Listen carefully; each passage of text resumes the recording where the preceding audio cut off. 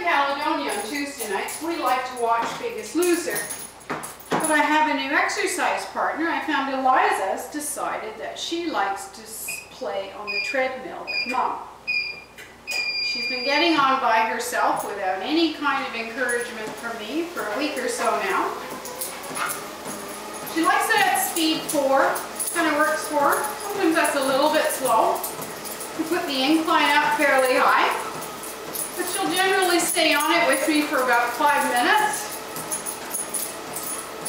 And then I kind of boot her off so I can speed it up and really get a real workout. But I thought you might like to see who my new exercise partner is. Kind of makes things a little bit fun. And as you can see, she's very focused.